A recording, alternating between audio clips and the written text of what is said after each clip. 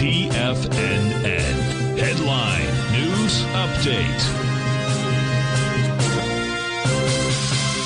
Welcome, folks. We have the Dow Industrials trading down 364, Nasdaq's off 68, S&P's down 35. Gold, gold contract flat, 17.21 an ounce. We have silver up 13 cents, $20.68 an ounce. Light sweet crude up 74, $88.50 a barrel. Notes and bonds. Uh, 10-year note down 18 ticks, trading 111.30. 30-year bond uh, down where are you? 30. It's down 15 ticks, 126.10 and King Dollar. King Dollar's on the move once again, going topside. King Dollar's up 1,033 ticks. The Euro's trading at 97. The yen is at 145, and the British pound is at 111 to 1 U.S. dollar. Now we get over and we take a look. This is going to be really intriguing out here today, and the reason being it's, it's bearish. That, that's gonna, it's a bearish call I'm going to do here, folks.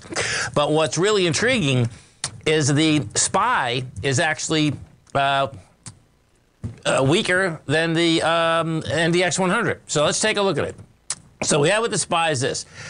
You're still going to have a failure in price and volume. Bottom line, uh, you know, we go back to uh, Tuesday, uh, bot, I mean, Tuesday, Wednesday, yeah. Tuesday had 103 million shares. You get over it yesterday with 88, gave it up. Today is even going to less than 88. Right now we're at 58, and you couldn't even make the high of yesterday in the SPY. Yet you're going to probably close under the 378. Uh, yeah, I mean we're at 373 right now. So that's in the SPY. And the NDX 100, the Qs, and you can see the Qs are best bottom line stronger than the, the SPY out here today. Uh, that being said, you got a failure on price and volume.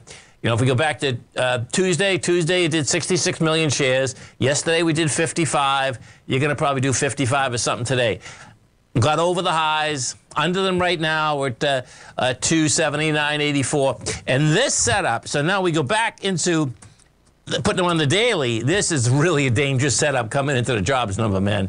Uh, because what you can see is that as you got higher, you gave it up on spades big time. So that's telling me we're going to go right after the lows once again.